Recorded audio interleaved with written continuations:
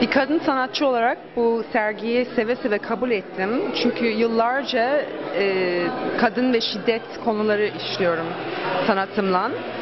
Ve artık diyorum ki şiddete son. Kadınlar çok mahrem varlıklar ve e, onlara çok değer vermemiz gerekiyor. I am I can aslında her kadının her gün kendine söylemesi gereken bir cümle diye düşünüyorum. Bunu bu sergiye koymamın sebeplerinden de bu. Çünkü I am I can demek ben yapabilirim. Yani karşılaştığınız her güçlükte, her zorlukta bunu kendi kendinize söylediğinizde bu size bir güç veriyor. Ben yapabilirim, ben yapabilirim. Yani düşünülmesi gereken bir şey ve bence bu sergiye çok yakışan bir iş.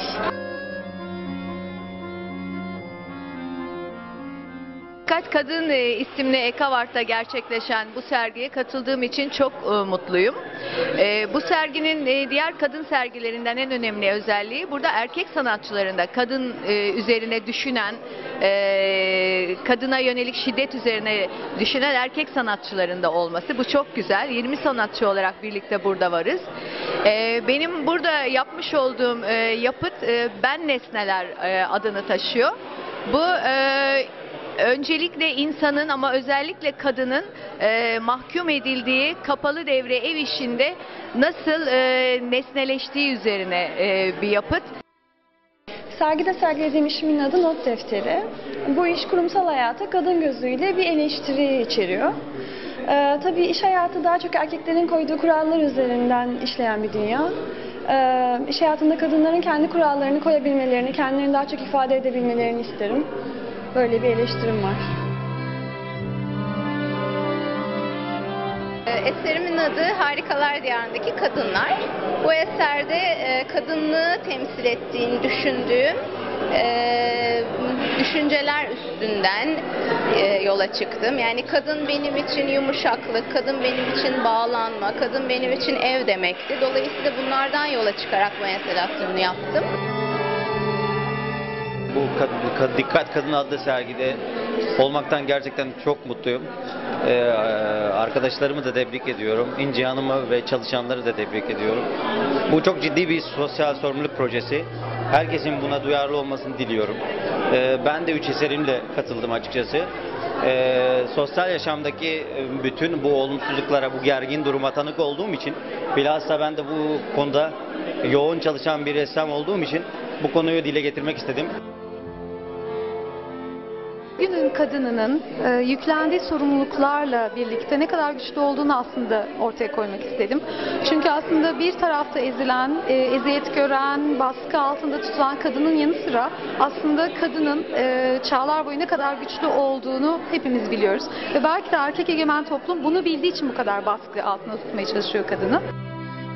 Bir yanda bir yok oluş yaşanırken diğer yanda e, varlığın bir e, tohum çekirdeği gibi sığındığı bir alan yaratmaya çalıştım. Benim çalışmam kimelerinin tarihsel sürecinden günümüze, kimlik değişimleri olsun, e, anaerkil toplumdan ataerkil topluma geçiş süreci olsun. E, bunun anakronist bir yaklaşımla tekrar kimlik bağlamında günümüz kadınına sorunsal olarak e, işlenmesidir. EKAV Galeri'nin 20. yılında e, EKAV'ın kadınlar üzerinden ve kadınlar üzerindeki bu baskı, şiddet, e, ötelenme üzerinden bir proje geliştirerek e, ve sanatçıları bizleri buna dahil ederek böyle bir sergi gerçekleştirmesi hem EKAV'ın da 20. yılını çok da anlamlı hale getirdi. Teşekkür ediyoruz. Ve derin korkuyla baktığı bir nokta vardır. O da sistemin kendisini gösterir. Oysa dev bize e, ed- edindikleri e, ve kazandıklarını sunar. Bunlar e, diğer nesneler, eşyalar, hayvanlar ve hatta kadın olabilmektedir. Aslında yaptığım bütün işlerde tek bir soru soruyorum. Ölümcül ve ölümsüz olan bu geleneğin ağına takılmış olan kadın hayatta kalabilecek mi? Toplumsal gerçeklik diye kurguladığımız inşa ideoloji, din, ahlak gibi e, bir takım kurumlardan, bizim kurduğumuz bir takım kurumlardan meydana geliyor. Ve bütün bunlar aslında şöyle meşruiyet buluyor. Bizim kendi özgürlüğümüzden, sembolik değil, kendi gerçek özgürlüğümüzden korkmamız üzerine kuruluyor. Dolayısıyla nereye kadar bu özgürlükten, bu gerçek özgürlük özgürlüğümüzden korkarız? Bu işin sorusu bu. Kadın Olma Halleri isimli e, eserimde e, toplum tarafından kadına verilmiş olan e, annelik, işte sevgili olma ve bunun gibi statüleri anlatmaya çalıştım.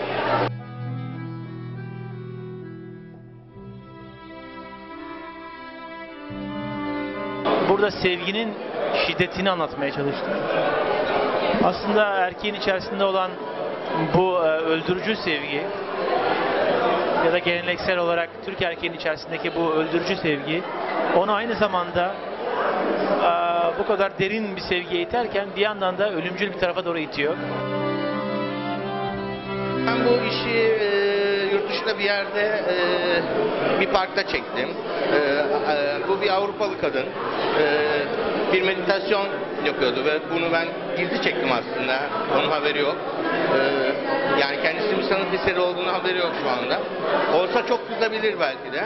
Fakat buradaki mesele onun yalnızlığı üzerinden. Yani Avrupa'daki kadın da olağanüstü durumda yalnız. Caddesi'nde bir gece manifestomda da belirttiğim gibi e, yürürken buldum 2-3 arkadaşımla birlikte. O kadın tek bir ayakkabıyla yoluna devam etti. E, Ne gördüğünü, ne hissettiğini o anda ya da neden dolayı o ayakkabının orada kaldı o kadar ölçüsel ve fantastikti ki benim için. O ayakkabıya bir şekilde ben sahip çıktım. Benim bu sergideki çalışmam namus cinayetleri üzerinden şekilleniyor. 5 adet fotoğraftan oluşuyor. Ee, fotoğrafta gördüklerimiz e, namus cinayetlerinde kullanılan erkeklerin tercih ettiği e, cinayet ayetlerinden e, onların dantelle kaplanması ve fotoğraflamam üzerinden şekilleniyor.